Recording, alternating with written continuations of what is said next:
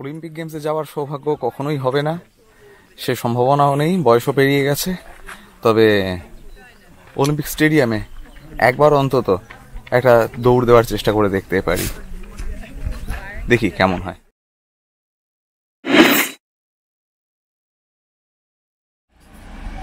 জিউসের শহর অলিম্পিয়া থেকে এখন আমরা অ্যাপোলোর শহর ডেলফিতে।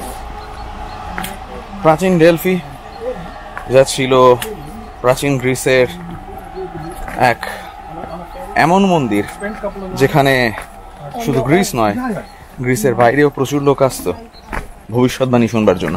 তাদের ভবিষ্যতে কি হবে, তাদের ভাগ্যে কি লেখা রয়েছে এবং এই ডেলফি থেকেই, ডেলফির যে পুরোহিত, তারা ভবিষ্যৎবাণী করতেন।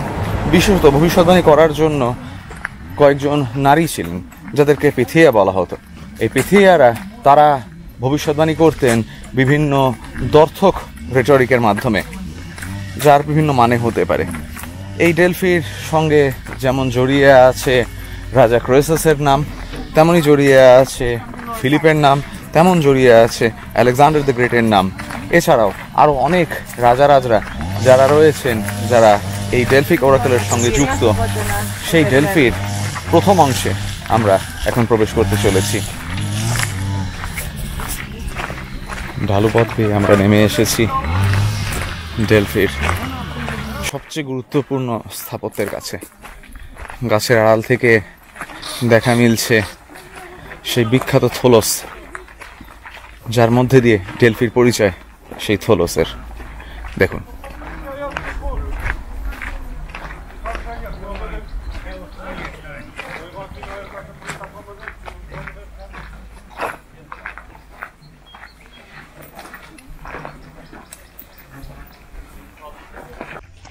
ডেলফি বললেই মানুষের চোখে এই থোলস বিল্ডিং এর কথাই ভেসে ওঠে।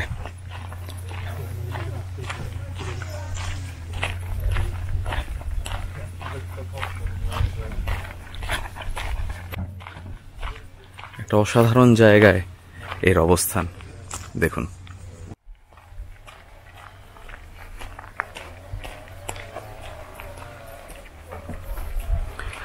এই ডেলফিতেই ভবিষ্যৎবাণী হয়েছিল অনেকের। বিশেষত যার নাম সবার প্রথমে আমাদের মনে আসে সে হচ্ছে লিডিয়ার রাজা ক্রোয়েসাস, সেই যুগের সবচেয়ে ধনী ব্যক্তি, যিনি এখানে জানতে চেয়েছিলেন পারস্যের রাজা কুরুশ বা সাইরাস, তার সঙ্গে যুদ্ধের ফলাফল কি হবে। তো ডেলফির ওরাকেল ভবিষ্যৎবাণী করেছিল এক বিশাল সাম্রাজ্যের পতন ঘটতে চলেছে। ক্রোয়েসাস ভাবলেন, সত্যিই তাই। নিশ্চয়ই পারস্যের সাম্রাজ্য তার হাতে ধ্বংস হবে। কিন্তু হলো ঠিক উল্টোটা। পারস্যের সাম্রাজ্যের হাতে লিডিয়ার সাম্রাজ্য ধ্বংস হলো এবং পারস্য আরও বড় সাম্রাজ্য হিসাবে গড়ে উঠল। সেই সাম্রাজ্যের পতন কামনা করে আরও একজন এখানে ভবিষ্যৎবাণী চেয়েছিলেন। তিনি হচ্ছেন আলেকজান্ডারের বাবা king Philip the second. Philip এখানে জানতে চেয়েছিলেন যে পারস্যের সঙ্গে আগত যুদ্ধে ফিলিপ জয়ী হবেন কিনা। এখানে ভবিষ্যৎবাণী করা হয়েছিল যে বলিদানের জন্য ষাঁড় প্রস্তুত হয়ে আছে আর কষাই সে অস্ত্রে শান দিচ্ছে। ফিলিপ ভাবলেন, নিশ্চয়ই তার কথাই বলা হয়েছে, যেহেতু পারস্যের চিহ্ন ছিল হচ্ছে ষাঁড়, তাই সেই ষাঁড়ের বলি হবে। কিন্তু হলো ঠিক উল্টোটা। ফিলিপকে তার বন্ধুরা অল্প বয়সে তার শক্তির জন্য ষাঁড় বলে ডাকতো এবং পারস্যের বিরুদ্ধে যুদ্ধে যাওয়ার কয়েক মাস আগেই ফিলিপ আততায়ী রাতে নিহত হলেন। কিন্তু সেই সব ইতিহাস বদলে গেছিল ফিলিপের ছেলে আলেকজান্ডারের মাধ্যমে। আলেকজান্ডার যখন এখানে ভবিষ্যৎবাণী চাইতে এসেছিলেন, তিনি কিন্তু কোনো ঠিক ভুল কোনো উত্তরই পাননি। বরং তিনি তখন তার সেনাপতিদের মাধ্যমে ডেলফির যে সোনার দরজা ছিল সেই দরজা ভেঙে ফেলেন এবং ভেঙে ফেলে স্বয়ং নিজে এসে পাইথিয়াকে কাঁধে উঠিয়ে বাইরে নিয়ে চলে আসেন মন্দিরের। এবং পাইথিয়া তখন বলেন যে যে কিনা ডেলফির পাইথিয়াকে তুলে আনতে পারে, তার পক্ষে পৃথিবীতে অসম্ভব কোনো কাজ নেই। সে বিশ্বজয়ী হবে। সেই ভবিষ্যৎবাণী দর্থক হয়নি, সেই ভবিষ্যৎবাণী সফল হয়েছিল। আলেকজান্ডার সত্যি পারস্যের সাম্রাজ্য ধ্বংস করেছিলেন, করে পৌঁছে গিয়েছিলেন পাঞ্জাবের দ্বার প্রান্তে। এই সেই আথিনা প্রণয় আর থোলস পৃথিবীর অন্যতম শ্রেষ্ঠ স্থাপত্য। তার সামনে এসে দাঁড়িয়েছি। অপূর্ব অনুভূতি, বলার অপেক্ষা রাখে না। এবং এমন একটা জায়গা যেটা গ্রিসের মূল ভূখণ্ডের একটা পোস্টকার্ড পিকচার বলা যায় এবং অ্যাথেন্সের অ্যাক্রোপলিসের পরেই যে জায়গাটাকে সারা পৃথিবীর মানুষ চেনে, সে হচ্ছে এই ডেলফি। দেখুন ডেলফির থোলস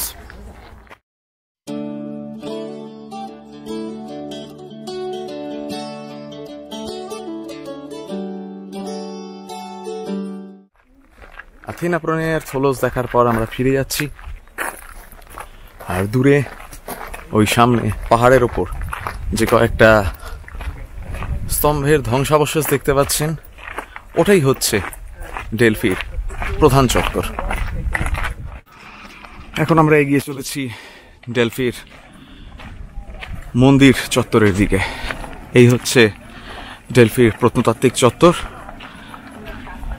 আর উপরে দেখতে পাচ্ছেন সেই স্তম্ভগুলো, যেগুলো কিছুক্ষণ আগে আথেনা প্রণয়ার থলোসের কাছ থেকে দেখতে পাচ্ছিলাম।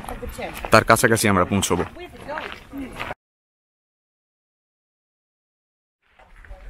এখন যে অংশটার মধ্যে দিয়ে যাচ্ছি, সেটা হচ্ছে প্রাচীন রোমানাগড়া অ্যাথেন্সে যেমন রোমান এবং গ্রিক দু ধরনের অ্যাগোরা ছিল, এখানে রোমান অ্যাগোরা রয়েছে। এটা একটা সময় দোতলা ছিল।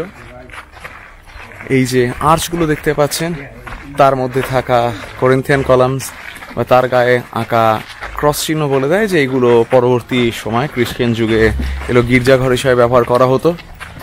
আর এই যে বাকি যে ছোট ছোট কমপ্লেক্সগুলো দেখতে পাচ্ছেন এই কমপ্লেক্সগুলো ছিল হচ্ছে এগোরা অর্থাৎ বাজারের দোকান। তবে এগোরা গ্রিক সময়ের মতোই কেবল বাজার হিসাবে নয়, পাশাপাশি জনসমাগমের জন্য ব্যবহার করা হতো। এখন আমরা উঠে চলবো, ধীরে ধীরে এগিয়ে যাব ডেলফির মন্দির চত্বরের দিকে। যত আমরা উপরে উঠব, তত মন্দির চত্বর আমাদের চক্ষুগোচর হবে। এই যে পথ ধরে আমরা উঠে চলেছি, এই পথকে বলা হতো পবিত্র রাস্তা বা সেক্রেট ওয়ে এই পথ ধরেই ডেলফির মূল মন্দিরে মানুষজন যাতায়াত করত, ভবিষ্যৎবাণী জানতে চেয়ে তাদের ভাগ্য গণনা হতো এই মন্দিরেই।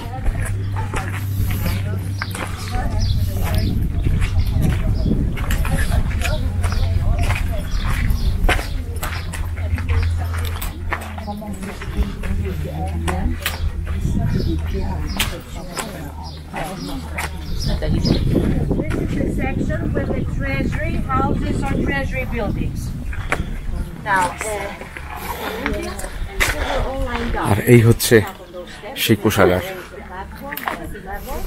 the mountain.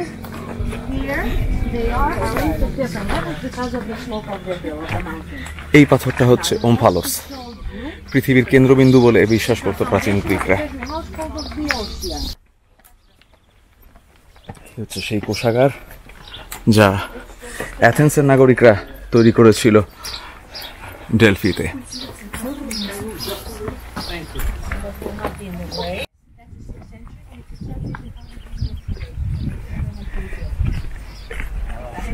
এই আয়নিক স্তম্ভ যেটা দেখতে পাচ্ছেন, তার উপরে রাখা ছিল স্ফিংস। এটা ডেলফিকে প্রদান করেছিল নাক্সোস দ্বীপ সাইক্লেটসের সবচেয়ে বড় যে দ্বীপ, এবং এর ওপর যে স্ফিংস, সেটাকে বলা হতো সেই হচ্ছে ডেলফির রক্ষাকর্তা, ডেলফির গার্ডিয়ান। ডেলফির মন্দির চত্বরের সামনের ঢালু পথ বেয়ে আমি উঠে চলেছি অ্যাপোলো মন্দিরের দিকে। আর চোখের সামনে দেখতে পাচ্ছি সূর্য পার্নাসাস পর্বত যেন আকাশকে ছুঁয়ে দাঁড়িয়ে আছে তার খাড়া ঢাল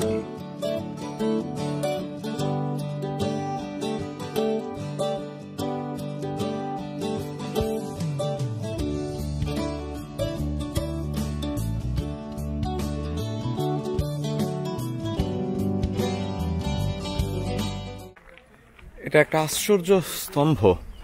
যে স্তম্ভ তৈরি করা হয়েছিল চারশো উনআশি খ্রিস্টপূর্বাব্দে প্লাতেয়ার যুদ্ধে গ্রিসের হাতে শেষবার এবং মীমাংসকভাবে পারস্যের পরাজয়ের স্মৃতির উদ্দেশ্যে।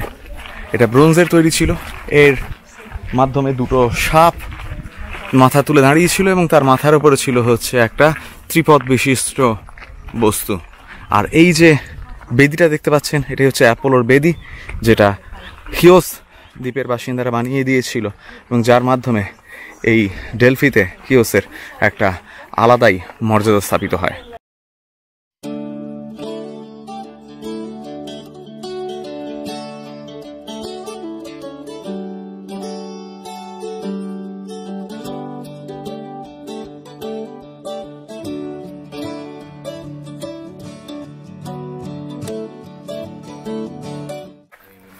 ডেলফি অ্যাপোলোর শহর আর এই সেই অ্যাপোলোর মন্দির। এই মন্দিরকে ছাড়িয়ে আমরা কিছুটা উপরের দিকে উঠে যাব। ওপরে রয়েছে একটা স্টেডিয়াম। সেখানে যাবতীয় নাটক, খেলা ইত্যাদি মঞ্চস্থ হতো। অলিম্পিয়ার জিউস মন্দিরের সাথে এই মন্দিরের কেবল একটাই পার্থক্য যে খ্রিশ্চানরা এই অঞ্চল দখল করার পরে এই মন্দিরে বিশেষ ভাঙচুর চালায়নি। এই মন্দির আজও প্রায় তার স্তম্ভগুলো সব নয় অবশ্যই, কিছু কিছু, যেমন যেগুলো দেখতে পাচ্ছেন, সেগুলো প্রায় একই রকমভাবে রয়ে গেছে যা সেদিনও ছিল, আজও। বেলা বাড়ছে, ডেলফি ধীরে ধীরে ফাঁকা হচ্ছে, কারণ রোদ চড়ছে এবং তার সাথে সাথে তাপমাত্রাও বেড়ে চলেছে। তাপমাত্রা এখন প্রায় তিরিশ ডিগ্রি সেলসিয়াসের কাছাকাছি। তবে ডেলফি যেহেতু পাহাড়ের ওপরে এবং যেমন বলেছি যে পাহাড়ে এখনও বরফ রয়েছে পার্নাসাস পর্বতে, সেই বরফের কারণে রাত্রেবেলায় কিন্তু এখানে ঠান্ডাটা বেশ জাঁকিয়ে পড়ছে। রেস্তোরাঁ এবং হোটেলের জানলা বিশেষ খুলে রাখা যাচ্ছে না। একটা ভালো ঠান্ডা হাওয়া আসছে। এবং আমাদের ট্যুরিস্ট গ্রুপের যারা পর্যটক, আমি বাদ দিয়ে তারা প্রায় প্রত্যেকেই আমেরিকান অথবা পুয়ের্তরিকান। তারা কিন্তু এই ঠান্ডা গরমে যথেষ্ট নাজেয়াল হয়েছে। আমার বাঙালির শরীর এই দুটো বিষয়ের সঙ্গে এতটা পরিচিত যে আমি এখানে কিন্তু সম্পূর্ণ সুস্থ রয়েছি। বরং যেভাবে উপভোগ করছি, তারা কিন্তু অনেকেই পারছে না। অনেকেই হাঁটছে কাঁচছে এমনকি দুদণ্ড সিঁড়ি দিয়ে উঠতে গিয়ে তারা হাঁপিয়ে পড়ছে। তবে হ্যাঁ গতকাল অলিম্পিয়ার, অলিম্পিক স্টেডিয়ামে আমার মতোই আরও দুজন তারাও দৌড়েছে, বাকিরা বিশেষ আর সেই ঝুঁকি নেয়নি। বলতে বলতেই আমি এখন যেখানে এসে গেছি এটা একটা আশ্চর্য রাস্তা, এখানে সাইপ্রেস গাছ। সেই সাইপ্রেস গাছের ছায়ায় আমরা উঠে চলেছি সামনের ওই স্টেডিয়ামের দিকে। এখান থেকে একটা দারুণ ভিউ পাওয়া যাচ্ছে অ্যাপোলোর মন্দিরের। দেখুন। অ্যাপোলো মন্দির আর দূরে ওই নিচে, থোলোস অফ আথিনা প্রণায়া আর এখানে অ্যাথেন্সের কোষাগার সে ট্রেজারি দেখুন, কি অসামান্য ভিউ আমরা পাহাড়ের এখন অনেকটাই উপরে রয়েছি। এটাই মাউন্ট পার্নাসস প্রাচীন গ্রিসের ধারণা অনুযায়ী এই পাহাড় অলিম্পাস পর্বতের পরেই সবচেয়ে পবিত্র। এই পাহাড়ের চূড়াতেও অলিম্পাসের মতোই চড়া নিষেধ। তবে চূড়ায় এই মুহূর্তে বরফ রয়েছে। আর এখন আমরা চলে এসেছি ডেলফির থিয়েটারের সামনে। অবশ্যই এপিদাভ্রোসের থিয়েটারের মতন সুসজ্জিত অবস্থায় নেই। অনেকটা অ্যাথেন্সের থিয়েটার অফ ডায়নাইসাসের মতন তার অবস্থা। ভেঙে চুড়ে রয়েছে গ্যালারিগুলো।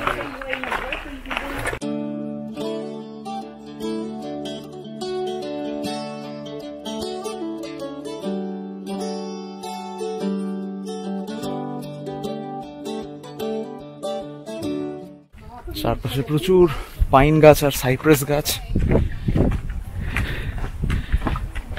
এই গাছের ছায়াতেই ডেলফি শহর। তবে এই ডেলফি শহরের আর একটা বিষয় বলে রাখি সেটা হচ্ছে এই শহরকে বলা হয় পৃথিবীর জলপাইয়ের রাজধানী অলিভের রাজধানী। আর নিচে আমরা ইতিমধ্যে. স্টেডিয়ামটাকে দেখতে পাচ্ছি। আমি অনেকটা উপরে উঠে এসেছি। কেবলমাত্র স্টেডিয়ামের এই ভিউটা নেব বলে। দেখুন। স্টেডিয়াম দেখতে পাওয়া যাচ্ছে, যদিও স্টেডিয়াম বলুন বা থিয়েটার বলুন, যাই বলুন, এটা যথেষ্ট খারাপ অবস্থায় রয়েছে। আসনের প্রচুর পাথর খসে গেছে, প্রচুর অংশ ভেঙে গেছে। তাই এখানে বসার বা ওঠার কোনো অনুমতি নেই।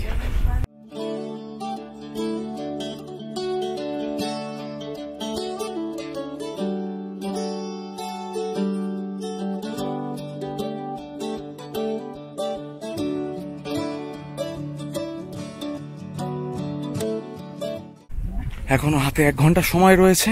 এক ঘণ্টা পরে আমরা গাইডের সঙ্গে আবার মিট করব আর্কিওলজিক্যাল মিউজিয়ামে। ডেলফি মিউজিয়াম ও অলিম্পিয়ার মিউজিয়ামের মতো যথেষ্ট সমৃদ্ধ। দেখুন, এখান থেকে একটা সম্পূর্ণ ভিউ পাওয়া যাচ্ছে এই স্টেডিয়াম পাশে অ্যাপোলোর মন্দির।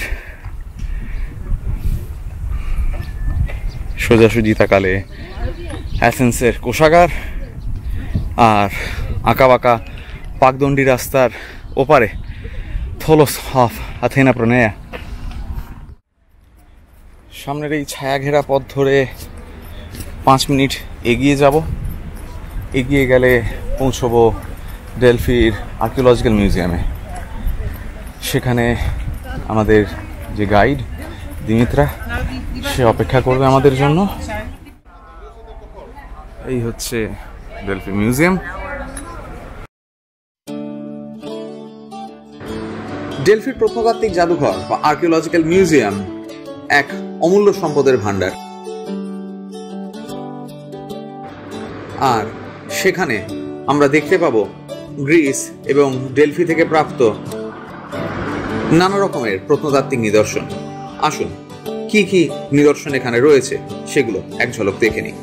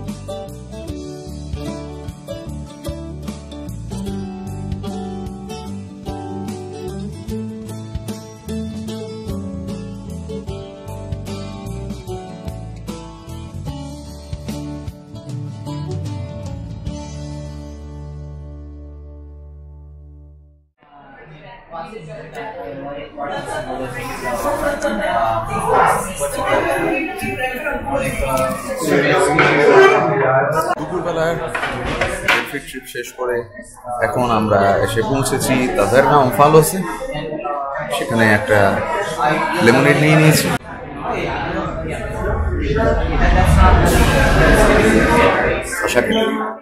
অবশেষে দুপুরের খাওয়া শেষ। গাড়ি আবার চলতে শুরু করে দিয়েছে। এবার আমাদের গন্তব্য কালাম্বাকা ঘণ্টা তিন সাড়ে তিন মতন লাগবে এখান থেকে পৌঁছতে। কিন্তু সে এক এমন জগৎ, যে জগৎ আপনারা সচরাচর কোথাও দেখতে পাবেন না। কেমন জায়গা? সেটা সেখানে গিয়েই বলব। আপাতত রাস্তার শোভা উপভোগ করুন।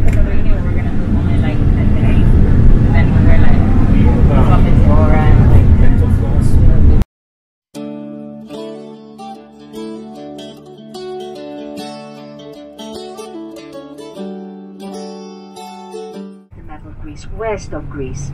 It's the body of water between Italy and this country. When we have our next stop, uh, we will uh, see the Aegean Sea because we will be for the next 130 minutes driving up on Mount uh, Parnassus, and our next stop will be close to Lamia at Thermopylae. We're having a short stop there so that you can see the location where the battle took place. Only it's not really a pass. In the ancient times, it was a pass, but now the land is. Uh, it's uh, the water is not as close as it used to be when they had that battle. But I will try to explain to you exactly where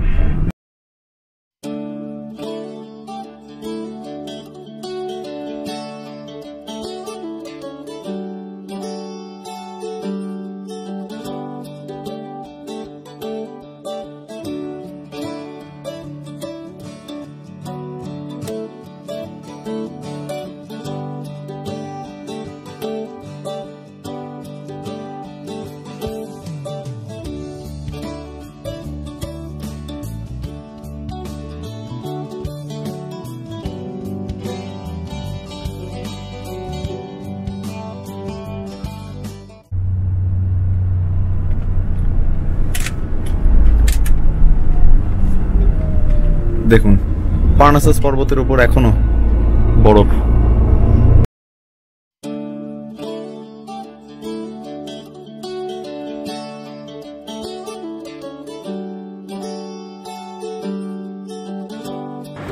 ঐতিহাসিক Delphi নগরীকে বিদায় জানিয়ে আমাদের বাস এগিয়ে চলল।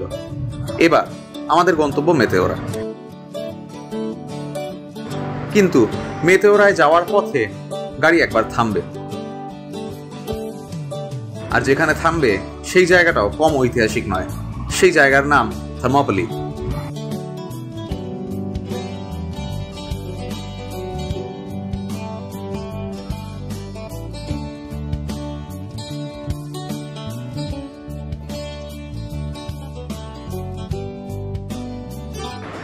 Delphi থেকে থার্মোপলিতে এসে পৌঁছতে সময় লাগল ঘণ্টা দেড়েক। এখানে বাস মিনিট পনেরোর জন্য দাঁড়াবে। আর আমরা এখানে শ্রদ্ধা জানাব থার্মোপলির যুদ্ধে নিহত সেই তিনশো জন বীর স্পার্টানকে যাদের এখানে স্মরণ করে রাখা হয়েছে সেই যুদ্ধে স্পার্টার নেতৃত্ব দেওয়া রাজা লিওনেদাসের একটি মূর্তি গড়ে To the left, the first monument is the monument to the Thespians, the 700 Thespians. And the one I described uh, described before, that's the monument to the Spartans and Leonidas. এখন যার সামনে রয়েছি, সেই জায়গায় বিখ্যাত থার্মোপলি যেখানে চারশো আশি খ্রিস্টপূর্বাব্দে পারস্যের সঙ্গে তিনশো জন স্পার্টানের যুদ্ধ হয়েছিল। প্রায় দশ হাজার পারসিক সেনা আর তিনশো জন স্পার্টান, আর তার সঙ্গে যোগ দিয়েছিল সাতশো জন থেস্পিয়ান দেখুন, স্পার্টাকে মনে করতে, তাদের স্মরণ করতে এখানে স্পার্টার যে নদী, এভরোতাস, সে এভরোতাসের একটা মূর্তি আর ওপাশে স্পার্টার যে পাহাড়, তাগিতাস, তার মূর্তি রাখা আছে। আর এই মূর্তির নিচে লিওনাইটিসের মূর্তির নিচে লেখা রয়েছে মরণ লাভে, যেটা স্পার্টার রাজা লিওনাইদাস সে বলেছিল, যখন পারস্যের রাজা দুধ পাঠিয়ে বলেছিল যে তোমার এখান থেকে আমি জল চাই, তোমার এখান থেকে আমি স্থলভাগ চাই। তখন বলেছিল, মরণ লাভে। মানে কাম অ্যান্ড গেট ইট এসো, এসে নিয়ে যাও, যদি সাহস থাকে। আর ওই যে পাহাড়গুলো দেখতে পাচ্ছেন, ওখানেই ছিল থার্মোপলি থার্মোপলি মানে হচ্ছে গেটস অফ ফায়ার অগ্নি দরজা। কিন্তু আজকে অনেকটাই সমুদ্র দূরে সরে গেছে। আমরা যেখানে দাঁড়িয়ে আছি, সেখানে মূলত সমুদ্র ছিল একটা সময়।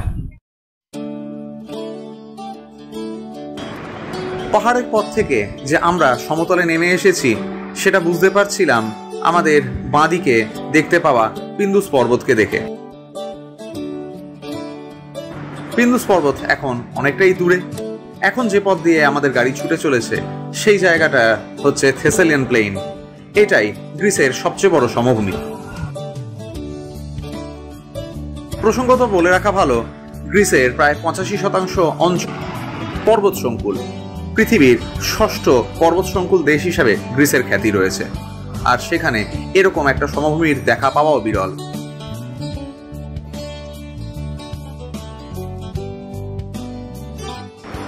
সূর্য পশ্চিম প্রান্তে ঢলে পড়ার সাথে সাথেই আমরা এসে প্রবেশ করলাম কালাম্বাকা শহরের উপকণ্ঠে অবস্থিত হোটেল আমালিয়ায়। আজ এখানেই আমাদের থাকার বন্দোবস্ত।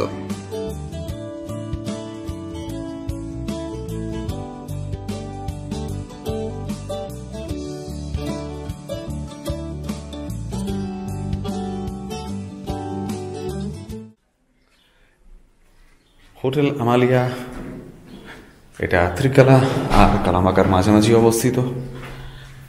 প্রায় একটা গোলক ধাঁধার মতন হোটেল। খুবই সুন্দর, সে বিষয়ে কোনো সন্দেহ নেই।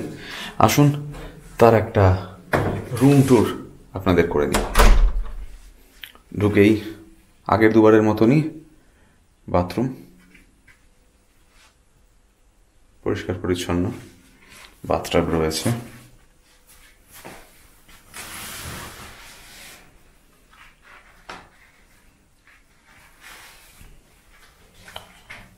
সেই বেডরুম।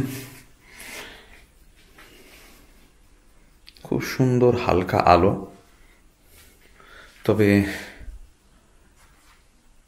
আগের হোটেলের মতন এখানে একটাই ড্রব্যাক যে এখানে কোনো ভিউ পয়েন্ট নেই।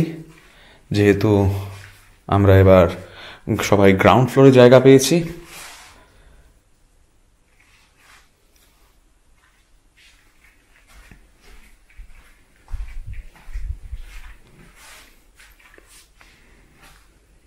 সুন্দর বিছানার বন্দোবস্ত করা। টিভি রয়েছে, আয়না রয়েছে, আর ঘরে হিটার এবং এসি রুম টেম্পারেচার কন্ট্রোল করার মতন বন্দোবস্ত রয়েছে।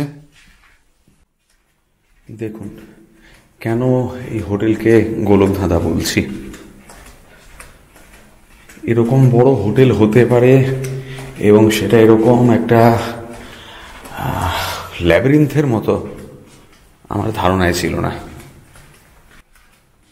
মাঝে মধ্যে জানলা রয়েছে, তার ফাঁক দিয়ে হোটেলের মাঝের অংশটা দেখা যাচ্ছে, সেটা অতি সুন্দর। থেসালির টিপিক্যাল বাড়িঘর যেমন হয় সেরকম। আবার আমি হাঁটতে শুরু করলাম।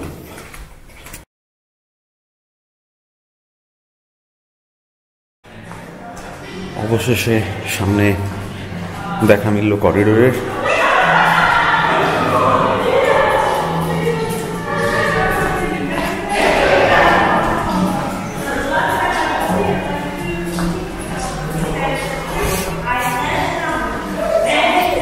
এই হচ্ছে হোটেলের লবি। সেও এক। জগৎ প্রমাণ এলাকা। সামনে রিসেপশন এখানে বসার জায়গা।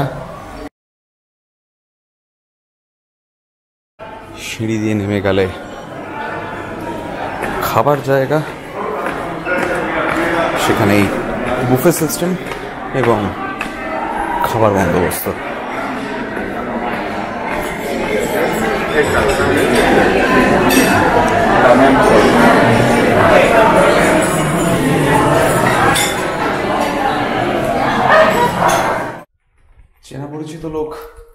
গ্রিসে এসেও দেখা পাওয়া যায়। ফেসবুকের মাধ্যমেই আলাপ, অনেকদিন আগে ক্রিস্তোস ক্রিস্তোস সিমেরোলিস তার সঙ্গে দেখা, সে ত্রিকালা শহরেই থাকে। সে কিছুক্ষণ আগে আমাকে ফেসবুকে মেসেজ করল, তুমি ত্রিকালা এসছো? আমি তোমার হোটেলের সামনে আসছি। চলো, একটু কালাপাকা শহরে বেরিয়ে আসি। যদিও সে রাত্রেবেলায় খেতে যাওয়ার প্রস্তাব দিয়েছিল, কিন্তু এই মিনিট পনেরো কুড়ি আগেই রাতে খাওয়া হয়ে গেছে। আপাতত আর আমি যাচ্ছি কালাপাকা শহরে।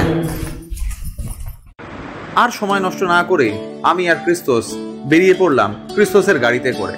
আমাদের গন্তব্য কালাম্বাকা শহর। চারপাশ অন্ধকার, মাঝখানে হাইওয়ে। সেই হাইওয়ের বুক চিরে ছুটে চলল ক্রিস্তোসের গাড়ি। ক্রিস্তোস আমাকে হোটেল থেকে নিয়ে এসেছে। এই যে আমার সামনে ক্রিস্তোস বসে আছে। আর সে আমাকে ডিনার অফার করেছিল, কিন্তু আমি যেহেতু খেয়ে এসেছি, তাই আপাতত গ্রিসের যেটা জাতীয় পানীয়, উজো উজো অর্ডার করেছি। আর দেখুন, আমরা কোনখানে বসে আছি, সেই ভিউটা দেখুন। সামনেই মেতে ওরা। রাতের বেলা আলো জ্বলছে ঠিকই তাতেই বুঝে যাচ্ছে তার যা আকার। দিনের বেলা এই দৃশ্য কীরকম হবে? মানে সেটা ভাবলেও এখনই শিহরিত হচ্ছি।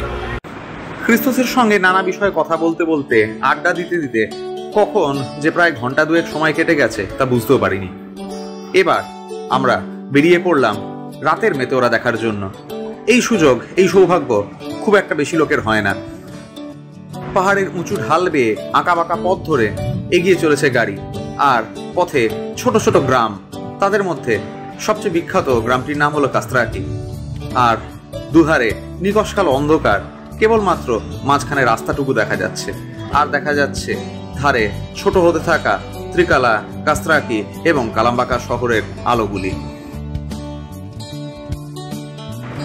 মেতেওরার শীর্ষে পৌঁছে বেশ কিছুক্ষণ সময় কাটানোর পর আমরা আবার ফেরার পথ ধরলাম। ক্রিস্তোসকে এখানেই বিদায় জানাতে হবে।